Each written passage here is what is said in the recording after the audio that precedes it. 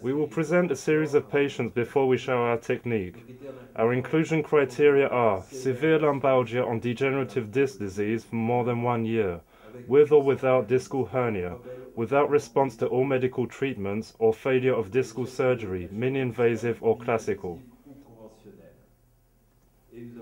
And we excluded patients presenting a frank motor deficit. Since the end of 2004, we operated on 35 patients using this technique. Mean 55.6 years old, 34 to 90 years, 13 men and 22 women. 40 operated levels, 2L1, L2, 5L2, L3, 7L3, L4, 19L4, L5, 7L5, S1. 27 patients received cages without associated plates and eight patients received Europa cages and WSH plates. Here you see a 34-year-old patient who was operated on four times. The last procedure used endoscopy and local anesthesia and was followed by removal of the left sciatica on L5 left. The remaining lumbalgia had to be treated. Its etiology is perhaps this remaining bulging, but above all the lowering of the disc height and a small instability which we will see on the dynamical lateral x-ray. At first standing in extension where we see the retrolisthesis and on the x-ray made in flexion we see a large posterior opening of the disc which confirms this instability. Here you see the skin marks that we make on the patient on a radiolucent operating table with the C-arm and a metallic wire. We draw the middle line, the entry points of the cages at 7, 8, 9 centimeters of the middle line. We will choose at the last moment the best point and the entry point of the pedicular screws. Here is the cage that we will put in seen on its large side and on its small side, which is 2 millimeters smaller than the big side. The cage will be pushed in on its small side and we will turn it at 90 degrees on its long axis so that we increase the height by 2 millimeters.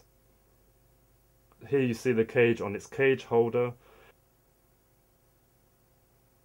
Here is the guide wire on the left and the dilators on the right, which will allow to increase the disc height before you put the cage in. The patient is lying prone in the OP room. We begin by a local anesthesia on the skin.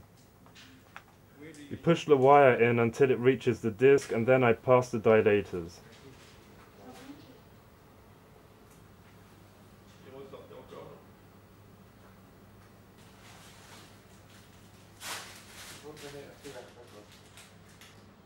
Always controlling on the C-arm screen here the disc is soft enough to be penetrated directly with the dilator which would increase the intersomatic space as we see here on the screen. It will be necessary to be helped by a tube pusher because here the disc penetration is somewhat difficult.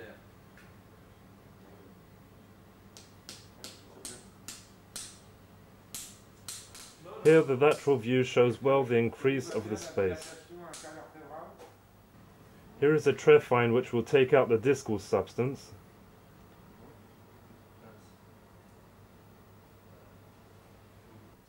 We remove the rest with a discal forceps.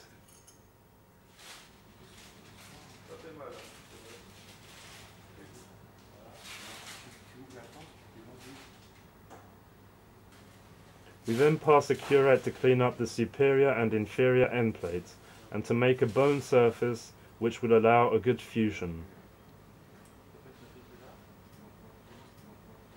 The last trephine is passed and will complete of the bone.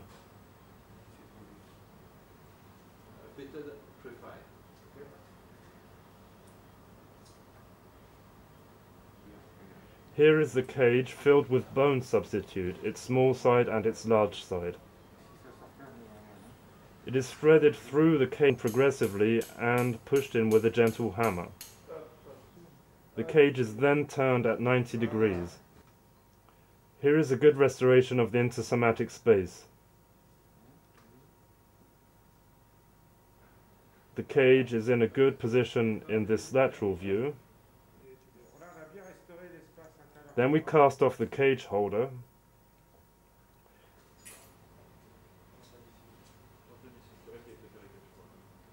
Here is the second cage which is put in on the other side. And the stitches are particularly simple. Eric, comment ça va Super. Alors, comment avez-vous trouvé l'opération, monsieur Here is the patient smiling at the end of the operation. The pain has disappeared during the operation. Here is the CT scan in an axial view. The pedicular screws are well positioned. The axial view on the cage is level in a stable positioning.